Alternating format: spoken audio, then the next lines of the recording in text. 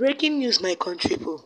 Another plane crash happened again that took many lives, destroyed lives, both female, male, wife, husband, and children, including families.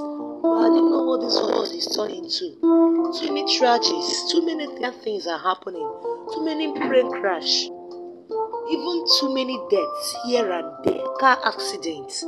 Many things are happening now, showing that it is truly end time, showing that truly it, the time that God has said that He was going to come has already come. So we all should be careful with our lives, our daily lives, the way we live our life. When you wake up the morning, you commit your life, your your day, daily activity into the hands of God. Because no one knows when He will meet His assignment. No one knows when He will meet His end.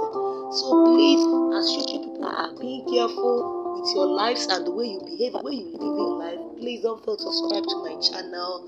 Blessing Justus, I love you.